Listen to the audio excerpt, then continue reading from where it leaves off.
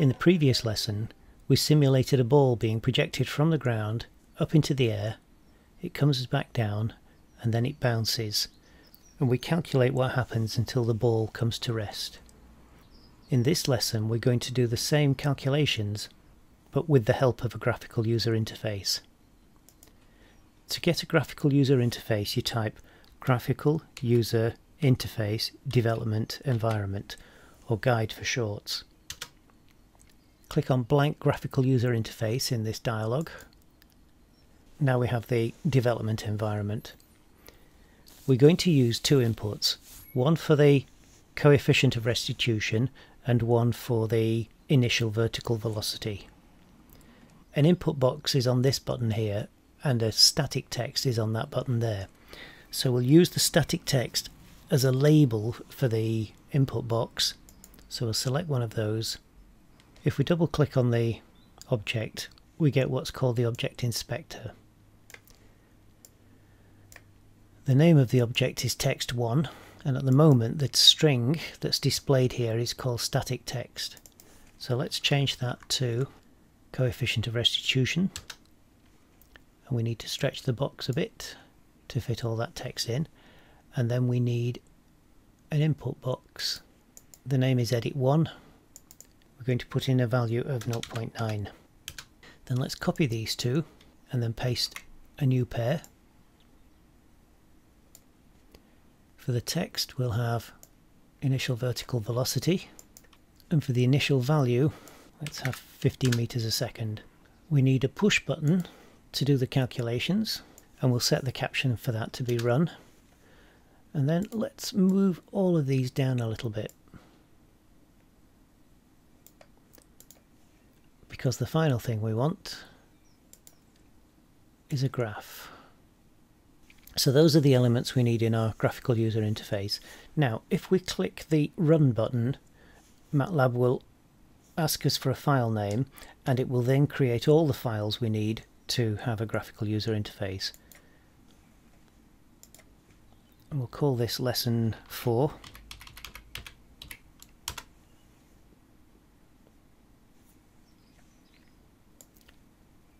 And here you can see it's created the graphical user interface.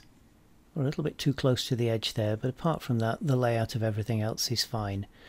Now, these input boxes are general purpose input boxes. So I can type text into these boxes as well as numbers, which is something we're going to have to control. So the first thing we'll do is to move the graph slightly to the right and then we'll control the coefficient of restitution input box. So let's close that, go back to the graphical user interface, we'll move that just slightly to the right.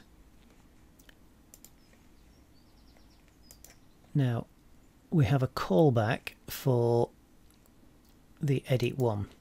So what we'll do here is we'll start by getting the value that's in the in the edit box. What we've done is we've said get the value that's contained in the input box and then convert that value into a number. Now if there's a number in the box COFR, coefficient of restitution, will contain the number. If there are any alpha characters or anything of that sort in the box, then we'll, we'll get an empty value. So what we'll do is say if the coefficient of restitution is empty, we'll set the value to be 0.9 and then we'll put that value into the input box. So that way we can trap any alpha input instead of just a numeric input.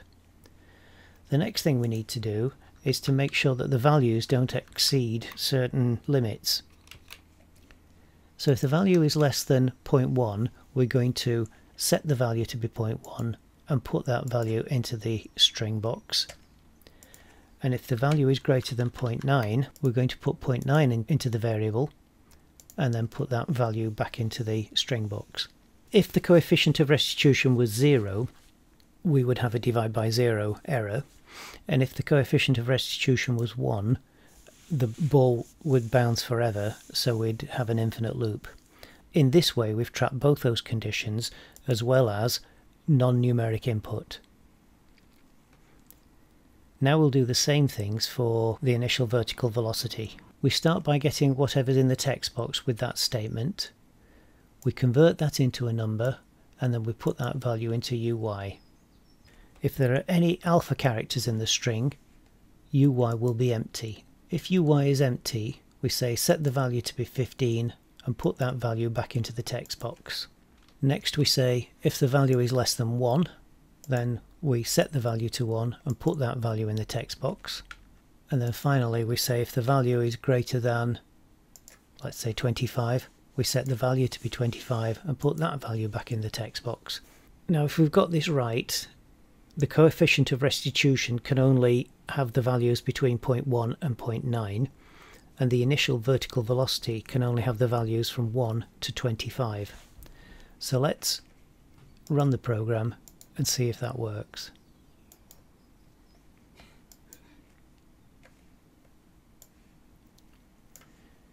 So if we put a value of 0.99, our code sets it back to 0.9.